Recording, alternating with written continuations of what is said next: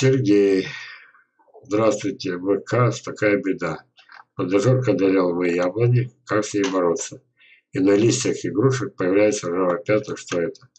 Но когда появляются ржавые пятна, на них набрасывается вся любовь и одновременно злоба. Ну, вспоминаем.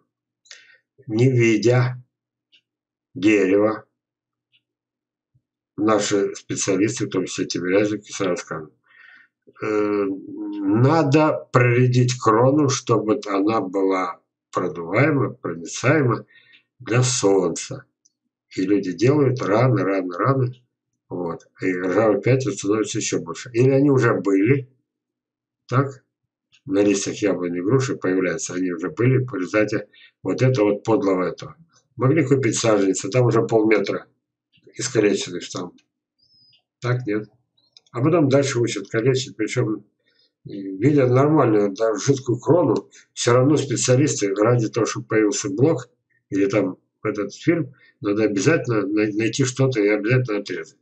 Вот с этого все начинается. Вот. Я не знаю, что вам ответить на этот вопрос.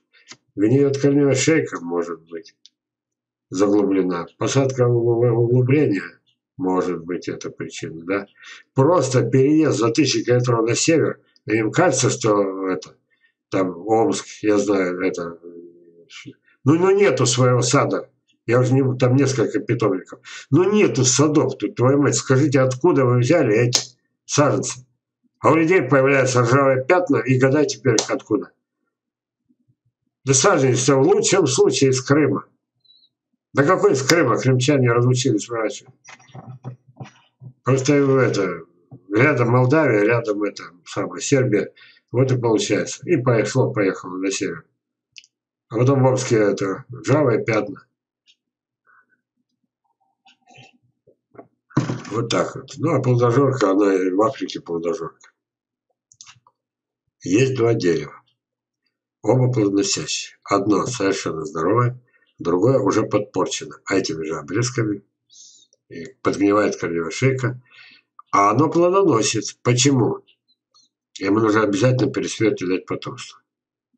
И вот плодожорка, которая, а, ее невозможно с ней бороться. Почему? Я все время говорю, плодожорки есть крылья. Почему об этом все время забывают?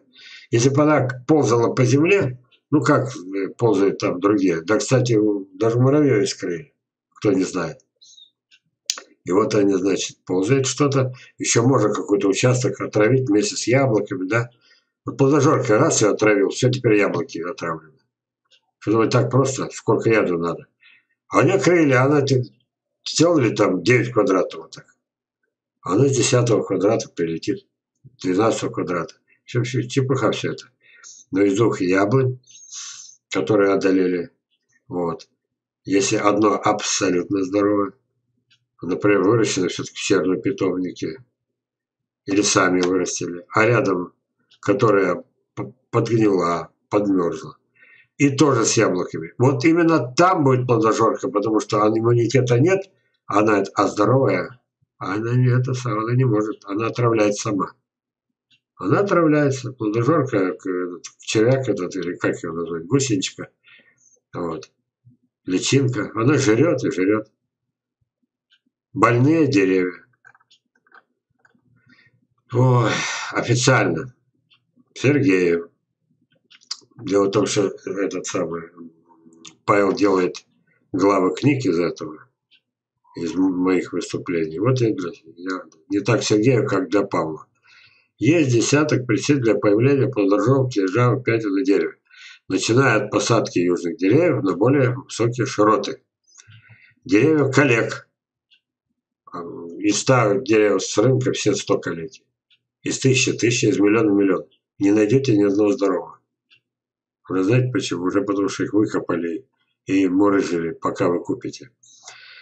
Следующее. Саженцев с неотрезанной кроной для балансировки со скорейшими корнями. При, было добавить, при пересадке. При пересадке. Вот так. И т.д. и т.д. И общепринятая борьба. Это до 40 обработок. Бесполезно.